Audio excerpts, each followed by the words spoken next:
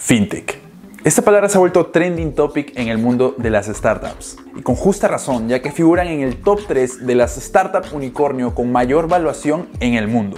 Un unicornio es la empresa que alcanza la evaluación de un billón de dólares antes de salir a la bolsa o ser adquirida por una empresa que cotice en bolsa. Y la tercera startup con mayor valuación a nivel mundial y la primera en Estados Unidos es Stripe, una fintech estadounidense valorizada en nada más y nada menos que 95 billones de dólares. Más de 20 billones más que la famosísima SpaceX de Elon Musk, que ocupa el cuarto lugar. Y sin ir tan lejos, la startup con mayor valuación en Latinoamérica también es una fintech. Estamos hablando de Nubank, la fintech brasileña valorizada en 25 billones de dólares. Pero, ¿qué es una fintech exactamente?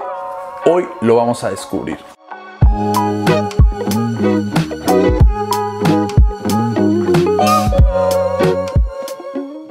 Hola y bienvenidos al canal. Mi nombre es Juan Carlos, soy ingeniero de software en Lima, Perú y como he mencionado antes, actualmente me encuentro trabajando en una startup y para ser más específicos, en una fintech. B89. Así que en este video les daré una mirada desde adentro de lo que es una fintech. ¿Cuál es la problemática que resuelven? ¿Cuáles son los distintos tipos que existen en el mercado? ¿Y por qué deberías prestar atención en los próximos años? Bien sea que quieras adquirir sus productos, invertir en una de ellas o trabajar en una. Y todo eso lo haremos mientras hacemos unboxing de la primera tarjeta con crédito del Perú y un producto en el que personalmente he estado trabajando en el último año, la 89. Cabe decir que este video no está patrocinado y todo el contenido de este video es simplemente mi opinión y no me encuentro en la representación de nadie más que de mi persona.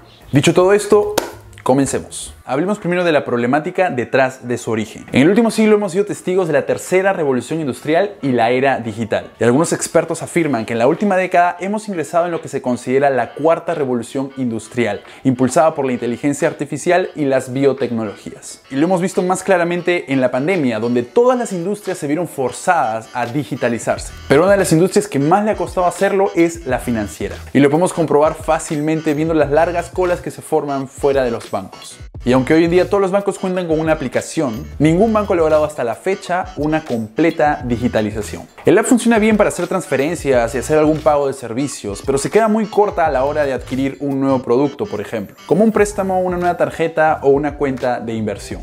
Sin hablar de todo el tiempo que perdemos en la banca por teléfono, esperando que nos atienda algún asesor y nos pueda dar respuesta o solución a nuestro problema. Y otro gran problema que vemos actualmente en el sistema financiero en el Perú y probablemente en el resto de Latinoamérica también, es que el mercado se encuentra repartido entre unos cuantos bancos, que ha logrado extender sus inversiones e influencias en distintas industrias del país, llegando incluso a influenciar fuertemente en la política, impulsando leyes que los favorezcan y que limiten la competencia. Y ya me optimista, pero creo que esto está empezando a cambiar. Y los principales agentes de cambio en esta situación son las fintech. Fintech viene del inglés Financial Technology o tecnología financiera y básicamente son servicios financieros apalancados completamente por la tecnología. No son bancos tratando de digitalizarse, son empresas de tecnología brindando servicios financieros. Y han nacido como una alternativa real a la banca tradicional y han venido para quedarse. Y es que las fintech tienen varias ventajas sobre los bancos. En primer lugar, las fintech no tienen que lidiar con sistemas legacy anticuados y dependencias de las que no se pueden deshacer. El famoso core bancario se ha vuelto un dinosaurio imposible de matar y difícil de mantener, no solo por lo anticuado de las tecnologías que utiliza, sino también por la burocracia que caracteriza a los grandes bancos. Y en segundo lugar, las fintech en su mayoría no necesitan agencias físicas para operar, y en esta pandemia se ha comprobado que ni siquiera necesita oficinas lo que representa un gran ahorro operativo para la empresa que puede traducirse en mejores beneficios y servicios para los clientes. Ahora, como mencioné anteriormente, existen distintos tipos de fintech especializadas en diferentes servicios financieros. Entre las más conocidas y que probablemente hayas utilizado anteriormente se encuentran las siguientes. Tenemos las fintech dedicadas al trading, para la compra y venta de acciones en la bolsa de valores, divisas, criptomonedas y demás todo desde tu celular y sin ningún intermediario. Las más famosas son Robinhood e eToro. Esta última te permite hacer lo que se llama trading social, permitiéndote conectar con otros traders e incluso copiar sus movimientos en tu portafolio. Pero sin ir tan lejos, ya tenemos este tipo de fintechs en Latinoamérica también. Y una de ellas es Happy, una fintech peruana que cuenta con el respaldo de Y Combinator. Y Combinator es una de las aceleradoras de startups más grandes del mundo, pero también ha impulsado startups como Airbnb y Stripe, de la que hablamos al inicio del video. Un amigo es uno de los founders y realmente estoy expectante por ver el crecimiento de este emprendimiento. Por cierto, le dejaré un link en la descripción de todas las fintech que mencionemos en este video. La siguiente categoría de fintechs de la que probablemente ya has escuchado son las criptomonedas. Si no vives bajo una roca, probablemente has oído hablar del boom del Bitcoin y la moda de las criptomonedas. Y aunque podríamos creer que la criptomoneda caería en un tipo de innovación dentro del trading, la tecnología detrás de las criptomonedas ha venido a revolucionar el sector financiero y los servicios de transferencia de dinero. Estoy hablando del blockchain, un sistema descentralizado de transferencias y balances de cuenta con una alta eficiencia y seguridad, gracias al uso exhaustivo de mecanismos criptográficos. La blockchain está detrás de muchas fintech hoy en día e incluso ha empezado a ser adoptada por bancos tradicionales. Hay muchísimo por hablar sobre criptomonedas y sé que es un tema bastante denso, bastante complejo y podría ser material para otro video. Si es que eso te interesa, déjamelo en los comentarios y podríamos hacerlo.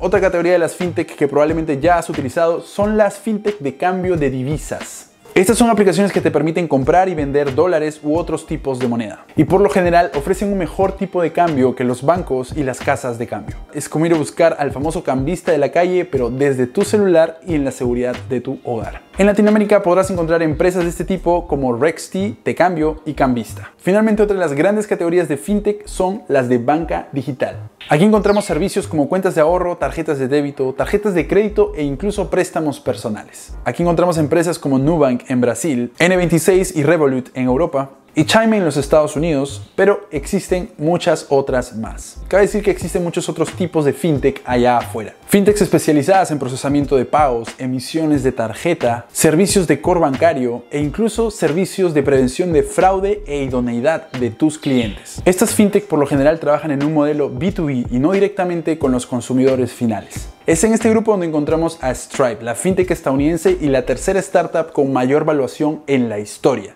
superando a gigantes como Uber y Facebook. B89 no se identifica con ninguna de esas categorías o etiquetas en particular. Es más, en muchas oportunidades solemos decir que ni siquiera somos una fintech, sino que somos una tech fin por el peso que le damos a nuestra infraestructura tecnológica.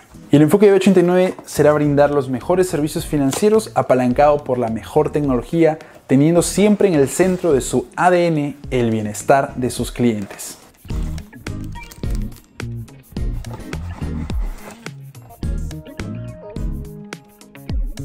Ahora, ¿por qué deberías prestarle atención a este tipo de empresas? Es muy sencillo. Como cliente tendrás la oportunidad de acceder a mejores beneficios para sacar mayor provecho a tu dinero. Segundo, como inversor podrías estar apostando por una mina de oro. El crecimiento y potencial de este tipo de emprendimientos está comprobado por cientos de casos de éxito a nivel mundial. Y podrías estar poniendo tu dinero en el próximo unicornio. Finalmente, para todos los ingenieros de software allá afuera, diseñadores, product managers y en general cualquier profesional involucrado en la industria de la tecnología, creo que una de las mejores canchas para crecer como profesional son las startups. Gracias a su increíble agilidad para desarrollar software, la posibilidad de innovar con lo último en tecnología en el mercado, y también debido a los recursos limitados que tiene una startup, podrías llegar a desempeñar distintos roles más allá de los límites de tu especialidad permitiéndote crecer exponencialmente como profesional. Y no solo eso, sino que si tienes la oportunidad de participar de una startup desde sus inicios, podrías recibir lo que se conoce como stock options o acciones de la empresa, lo que quiere decir que serías dueño de una pequeña parte de la empresa. Y si a la empresa le va bien, ese pedacito podría terminar valiendo mucho dinero. Y bueno, aquí tenemos la hermosa, la única, la 89, la tarjeta con crédito de B89. Como pueden ver, tiene un bonito empaque, diseño minimalista y no tiene mis datos impresos lo que le hace perfecta para compartirla en mis redes sociales. Actualmente la tarjeta se encuentra en una fase piloto y se está entregando de a pocos, así que si ya te encuentras en la lista de espera y aún no te ha llegado, no te preocupes, que valdrá la pena la espera. Si te encuentras en Perú y quieres ser uno de los primeros en tenerla en tus manos, puedes inscribirte en el link que aparecerá en pantalla y también te estaré dejando el link en la descripción del video. Y bueno, eso fue todo por el video de hoy. Si te gustó, ya sabes qué hacer, dale like y compártelo con alguien a quien podría interesarle este tipo de contenido. Y suscríbete para ver más contenido como este y dale click en la campanita para que te lleguen notificaciones cada vez que suba un video nuevo. Y también puedes ver mis otros videos donde hablo sobre programación, ingeniería de software y otros temas relacionados con tecnología. Y bueno, hasta aquí llegamos. Me despido. Mi nombre es Juan Carlos y como siempre espero que estén bien y nos vemos hasta la próxima.